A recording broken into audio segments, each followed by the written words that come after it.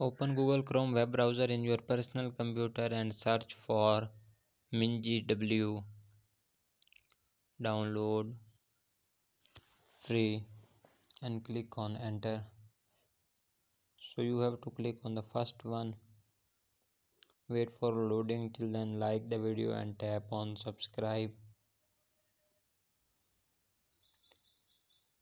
Tapping on subscribe does not require too much effort so please tap so here you are seeing all about MinGW you can scroll and check out the information about MinGW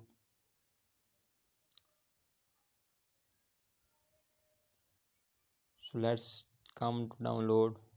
Click on the green download button and wait for loading Your download will start shortly 3 2 1 0.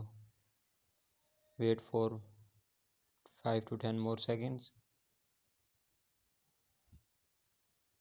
Till then tap on subscribe and like the video. Thanks for downloading.